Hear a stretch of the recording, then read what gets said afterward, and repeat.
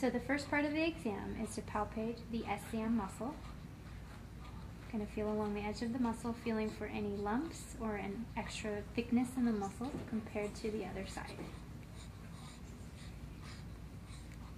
Next part of the exam is to check for lateral flexion passive range of motion.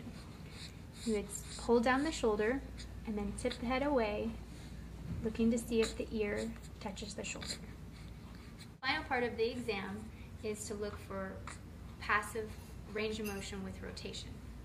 So you're going to stabilize the opposite shoulder and then turn the baby's head as far as it will go, trying to see if the chin reaches over to the shoulder.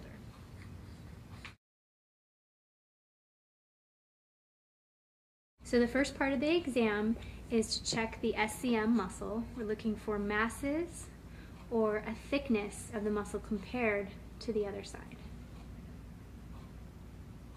So the next test is the chair rotation test. You're going to sit the child in your lap or the parent's lap and turn your body away and you're watching to see if the chin can come over the shoulder and you're going to provide a visual or auditory stimulus.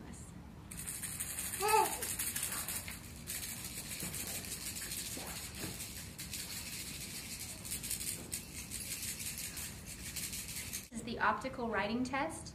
You're going to sit the child again in your lap over one knee and you lean the child's body over to the side to a 45 degree angle and you're looking to see if the head stays vertical.